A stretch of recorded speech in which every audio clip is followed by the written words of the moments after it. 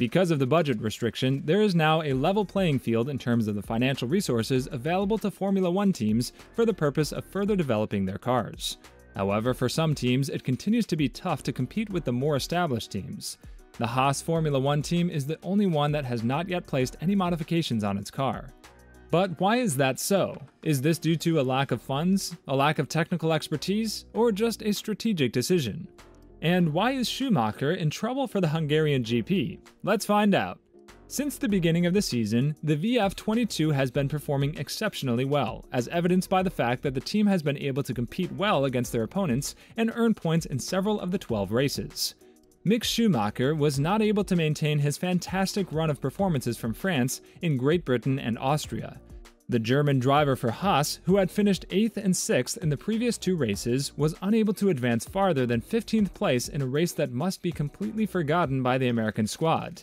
As many people know, we waited a bit longer to bring our upgrade to track, because I think we still have good place, explained Steiner. Now what we want to do is put performance on. The race was also negatively impacted by Kevin Magnussen's retirement from the battle. Despite this, the group that Gunther Steiner was leading maintained their place as 8th in the Builders classification. An outstanding performance, taking into account the immense challenges that Haas has had over the last several years, and also taking into consideration the fact that the Kannapolis team is the only one on the grid that has not yet delivered significant improvements to their vehicles. The VF22 will finally receive significant modifications in time for the Hungarian Grand Prix, which is the last race before the Formula One season takes a break for the summer. Steiner, on the other hand, made it quite apparent that there will be no opportunity to test out all of the new features on both vehicles at the same time. Because there's a shortage of the upgraded parts, the team has decided to exclusively give them to Magnussen because he is now the highest position in the World Championship. This means that Mick Schumacher will continue to race the normal car. For its current new package, Williams followed a similar tactic. Alex Albon was the only driver to use it in the British and Austrian races. Despite running a vehicle that has been practically unchanged throughout the whole season, Haas has managed to maintain its strength in the midfield pack.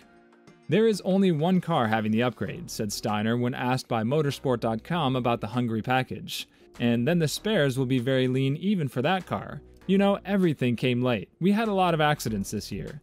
So all the materials were used up a lot to do that one, and then we started late also. We postponed it from France to Hungary. The only development package of the season had been expected to feature at this weekend's Hungarian Grand Prix, but Steiner has now conceded that the team has been unable to produce enough parts for two cars in time. In the beginning, they said we cannot do it anymore until Spa, and everybody really pushed to have at least one set for Budapest, so we can get some data and can analyze it for when we get going again after the break. And then if it doesn't work, we can always go back to what we had before. We have a good plan in place, well organized. There is also a chance Schumacher may take an engine penalty in Hungary, given that he is on his third and final penalty free Ferrari power unit, but Steiner is hoping to hold off on that. Steiner expects the package to show a clear benefit at the Hungaroring, where downforce is so important. Talking numbers, I don't want to get the number, because then you get disappointed. And what do you compare it with, he said, because you haven't got the same car doing a back to back. So we know how much more downforce it gives, there's a calculation how much it should do, and then we see how much it does do. But I'm not going out there saying now this is what it should be doing. We will find out and then we will see if it works. But we will not have a back to back from the same car. Although Schumacher will provide a baseline with a standard car, Steiner conceded that won't be as good as converting the same chassis between specs over the course of the weekend, something McLaren did with Lando Norris between FP1 and FP2 in France. It is difficult across two cars. I mean, across two cars, you can see perfectly the downforce data, and that is good that you have two different specs running on the same racetrack. At least you can compare the downforce data and go from there, and then see if that downforce data, if there's a delta, gives you the time advantage you calculated or you're expecting from the simulator. Steiner also confirmed that after Magnussen took a fourth power unit in France and started from the back, Schumacher is now due to do the same. However, the team hopes not to have to make the change in Hungary, where passing is so difficult, assuming that the German has sufficient mileage left on his previous examples.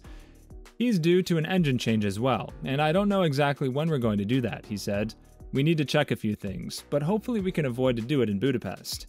If we're not forced to do it, we're not going to do it in Budapest. That I cannot say 100%, because they need to look to this engine, how it looks. But once we know that one, but the plan in the moment is to do it in Spa. According to Steiner, one can be happy that an upgrade is coming at all. The parts arrived late. We had a lot of accidents this year, so we used up all our materials on spare parts.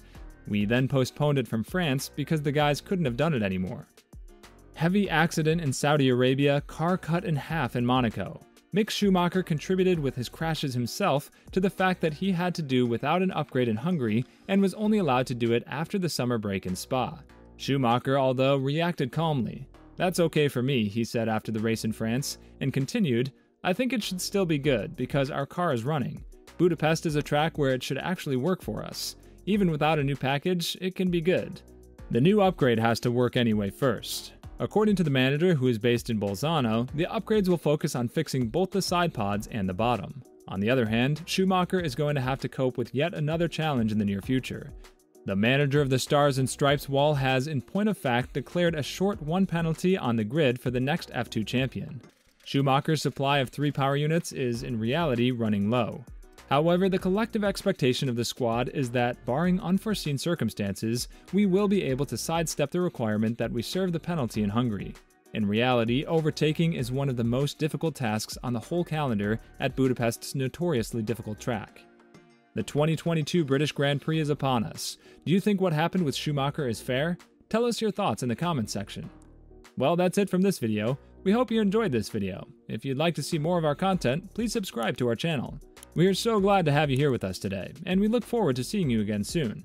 Bye bye.